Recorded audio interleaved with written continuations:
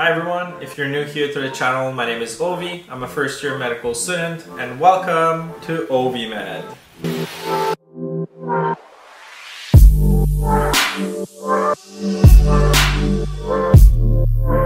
So now that the semester is finally over and that summer is here, you know what that means? It's research time.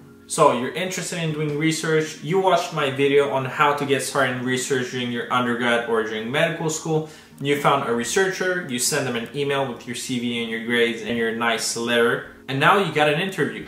Congratulations! But now what? How can you prepare for that interview? Is it like a normal job interview? What kind of questions can they ask you? The answers to these questions and much more coming up.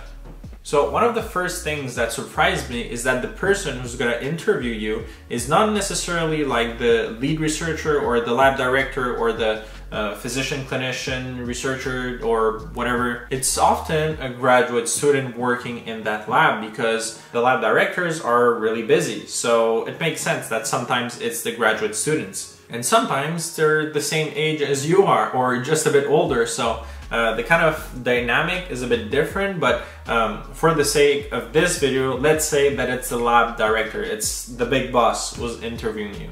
So in this video, I'll be focusing on lab slash science research questions rather than personal questions. I'll be making other videos about personal questions such as like the questions that you get in MMIs in a future series that I will make about medical school interviews and MMIs so stay tuned for that but examples of personal questions are like Tell me about a time that you struggled. Tell me about a time where you disagreed with a superior. Tell me about yourself. Uh, what are your weaknesses and stuff like that. So I won't be focusing about these. I'm going to be focusing about the research slash science questions that you might get after you've applied for a research assistant or research job position and you get an interview.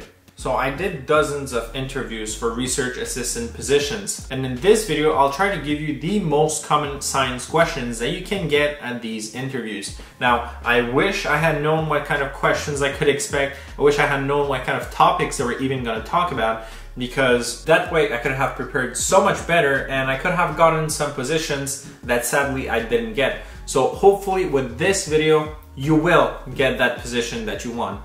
Alright, so as an undergraduate student, you're most probably applying for a research assistant position where you're going to be helping out a master or a PhD student to write their thesis or uh, helping with an experiment within their bigger experiment. Now, if you're in medical school, the lab director might expect you to be more autonomous since you already have that research experience and background that you need to be able to lead your very own research project. Now, that's not always the case, but generally, they expect you to have more experience and be more knowledgeable about research. Now, if you want something shorter, you can ask if you can help with the writing of a manuscript, of a paper, or an article, whatever it is, or a presentation.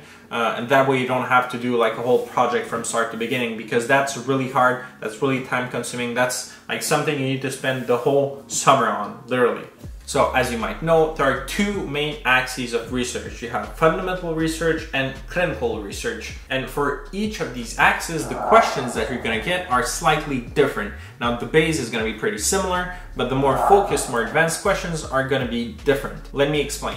If it's a clinical project, then it would be very helpful to have had some sort of experience in the past of patient contact. So whether it's through volunteering in a hospital or in a clinic, whatever you did, you need to show that you're able to communicate with a wide range of people from different backgrounds. Now, communication is also very important in a fundamental research project, but not in the same way because in a clinical project, you're going to be in direct contact with patients where they might be asking you questions about the project, and then you need to be able to explain the purpose of the project, what questions you're going to be asking, why you're asking these questions, what are you're going to do with that information. Basically, answer whatever they want in order for them to be able to make an informed decision on whether they want to consent or not, or whether they want to participate or not in this study. So, before you get started with the questions, there are two things, two mandatory things that you need to do. First of all, turn off your phone, mute it, throw it out the window, whatever you want to do. And second of all, dress nice. Don't dress to impress, but Dress nicely. It's always better to overdress than to underdress, that's for sure. So now let's get started with the most common questions.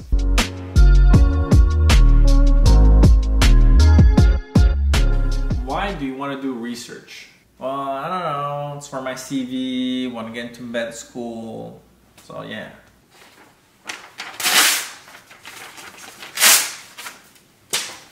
So this needs to be a personal answer. You can't just give out a general answer like, yeah, well, I want to advance science and participate to innovation, blah, blah. Like, yeah, sure, but everyone's gonna say that. Find something personal. You need to find something specific to you. If you never did any research before, well, just say that. I never did any research, but I'm really interested in this topic for ABC, and this is why I applied for this very project. If you have research experience, well, say that you have research experience and you want just to continue expanding your knowledge on whatever topic, blah, blah, things like that.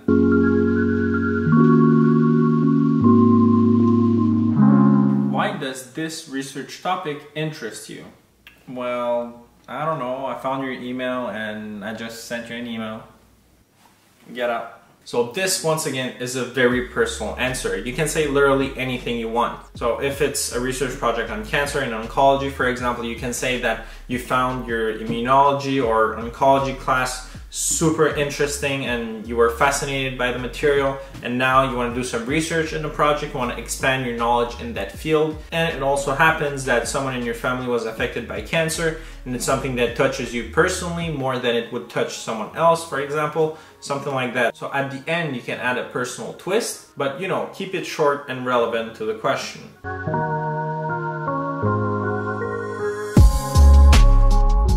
Did you choose my lab and not another lab on a similar topic? Well, to be honest, I sent emails to quite a lot of researchers, you know, so yeah. What?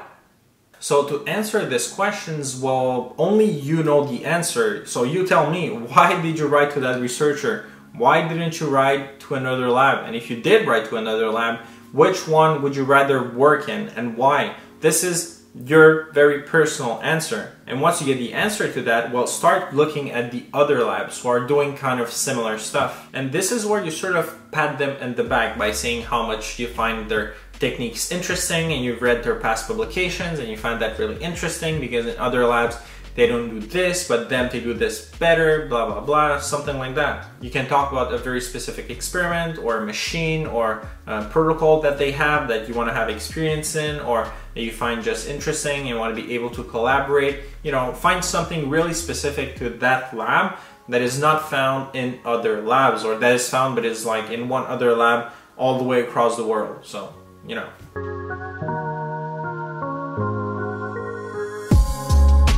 Talk to me about the most recent article you read on this topic. Uh, well, I don't read much to be honest.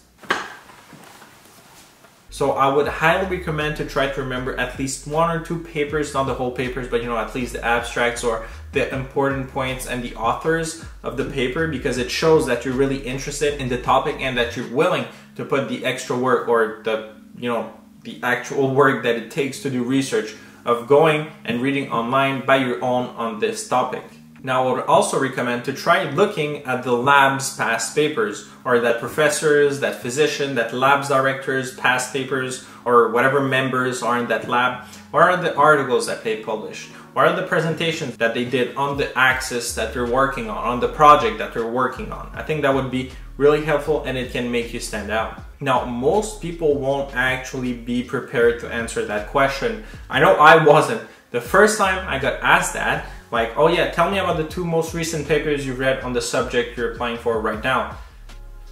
Uh, well, I don't know. I, I just, I wasn't ready to answer that. I answered, you know, about something that they wrote in the past on their past papers and it kind of went okay, it kind of like escaped the way, but it could have gone a lot worse. So then the following times I always read something, I always had a few notes ready about uh, a recent paper or a recent innovation in the field or something like that that really makes you stand out and that's something that they are going to remember because most people just don't expect to have that type of question so hopefully you won't be making that same mistake because well now you know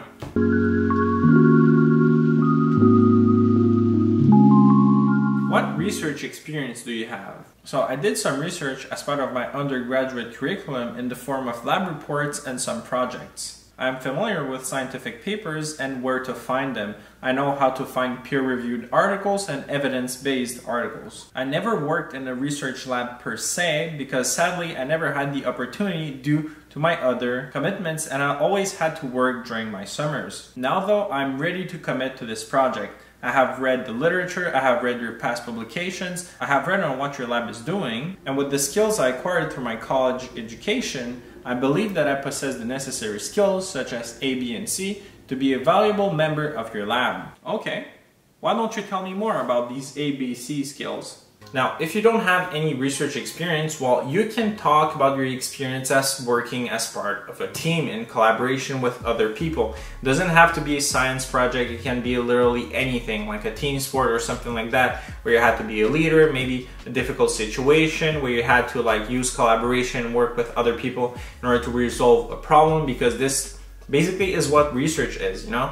And in terms of skills, well, think about your pre-med prereqs like biology, organic chemistry, whatever classes that you had that required you to learn a new technique, like in your labs, for example, if you had to do uh, to run PCRs, if you had to do agarose gels or uh, column chromatography, whatever it was, if these techniques you're going to reproduce them in the lab in this actual research project, well, that can be really helpful because it shows that although you don't have research experience, you do have a certain sort of skill set regarding the uh, manipulations and the protocol that you will be following in their lab. So that gives the researcher some sort of reassurance that um, you've seen a little bit, you have some experience at least. And I will also suggest to give an example where you were in a situation that you were unfamiliar with what you had to do and you had to learn very quickly how to solve that problem. I think that's extremely helpful because in research, Oftentimes you're to be on your own. Yes, you're as part of a team, but oftentimes people are running their own experiments where at the end everything comes together. But often it happens that in some periods of time you're to be alone for like a short period of time where you have to basically figure out what you have to do.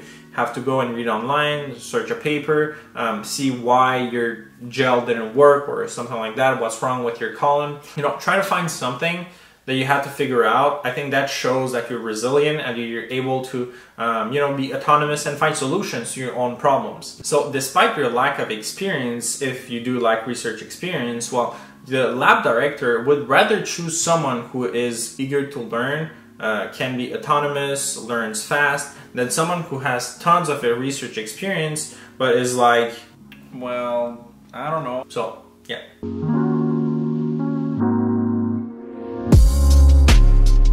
What is your plan for this research project? What?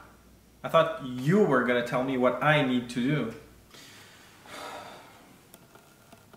Now, like I mentioned earlier, if you're a medical student, you have had some research experience in the past, the lab director is going to expect you to be a lot more autonomous than if you never did any research project ever. So in that case, set your expectations and talk, communicate with the lab director as early as possible to figure out a plan. So you can talk about any relevant experience, um, talk about maybe what your worries are about the project, um, you can say that you, maybe you need a little bit of outline, you need a bit of coaching, you need a bit of that at the beginning, you know, just to get the ball rolling. Set the expectations right away. Don't let them think that, oh yeah, you know everything because that's just gonna backfire eventually when they're gonna ask you, oh, well, I thought you knew how to do this. So, you know, just tell them right away. So yeah, if you just need a bit of guidance, well, now is the time to let them know. If you don't feel 100% at ease with leading your own research project from start to finish, now is the time to say it.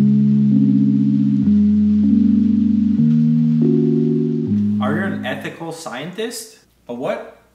Yeah? Yeah, sure. So I spoke about patients making informed decisions earlier in this video. Before doing any sort of research, you need to know the ethical guidelines and rules that you need to respect in order to do that research project, whether it's uh, on animals, whether it's fundamental, whether it's clinical. So you need to know these. Now, examples of ethical principles are beneficence, you must declare any conflict of interest. You must respect the patient's informed consent. That is very important. You must have integrity. So citing your sources, no plagiarism, and don't modify your data just to fit your hypothesis or whatever it is because why would you ever do that? That's not having integrity And the last one is very important, respect of privacy and patient's confidentiality. So to answer these types of questions, well, you can show that you know these basic ethical principles by just naming them. And then you say that you understand them, you're aware, and you know how to apply them. That would most likely impress uh, the person who's interviewing you because they know that they can trust you uh, by respecting the ethical principles behind research. So, towards the end of the interview, oftentimes the interviewer will let you ask them questions. So, questions can be related to anything. They can be related to this specific research project, how the summer is going to go, or literally anything. Now, I would recommend to pay attention to what types of questions you're going to be asking. Make sure that you're not questioning their own knowledge about the topic because oftentimes that can go really, really wrong. And since this question period is towards the end of the interview, there are very high chances that they're gonna remember you by what types of questions you asked. So be careful about what kind of questions you ask as to not put them off. But now this question period is also the time where you, the student, is able to interview the researcher, the physician, or whoever you're talking to to get to know more the lab, the project, or whatever you want to know. Now, here's a few questions that I think you would need to have the answer to in order to have a better understanding of the lab. Now, obviously, this depends on your need, but here is a quick list of questions that I think are important to ask. So, is this research internship paid? That's very personal. Can you afford to not get paid for a whole summer? Then, will I have a chance to get published? Could I attend some conferences on the topic? What type of supervision will I have during the project? Who will I be working with? Things like that. How do you describe the atmosphere in your lab? That's a very important question because for the researcher, it shows that you're looking forward to working as part of a team and you want to know what people are like. So then you can ask, well, are the lab members close to one another or are they friendly with one another? You know, questions like that. Then you can ask, what types of team building activities does your lab do? Now, if they don't do anything, that's to be a bit awkward because they're to be like, uh, well, we don't do much. But at least it shows that, you know, you're a good team player and you want to collaborate and stuff like that. And then last question, well, um, what are the strengths and weaknesses of the lab? You know, that's just returning the question that they asked you, um, the personal question. So, I mean, you can ask literally anything, just be careful to not question their own knowledge or the person's knowledge or the lab or don't put in question their whole like research experiment. Um, that can be really off-putting. That would be a bit, you know, dumb. But yeah, ask things that are of specific interest to you that you would like to know more about a specific technique or whatever. So I hope that this video was helpful for you to prepare for your upcoming research interview. This can also apply for other types of interview, but I think that, you know, most of the people are only going to apply this to research position interviews or research assistant interviews. So hopefully this was helpful. Hopefully you won't be making the same mistakes that I did. As I mentioned earlier, I wish I had seen a video like that in order to be able to prepare better and to get these positions that I really wanted. Um, research assistant positions, you know, there are not many research assistant positions available. It's quite competitive to get some, especially as a student when you're basically a nobody. So by answering these questions as best as you can, I think that would be a great advantage for you at the interview. So I hope you enjoyed this video. If you did, please like, comment, and subscribe. If you didn't see my previous videos, I'm gonna link them right here. If you don't follow me on Instagram, you can do so at ovi.med and see you in the next video. Talk to me the Talk to me about the boast. I am familiar with science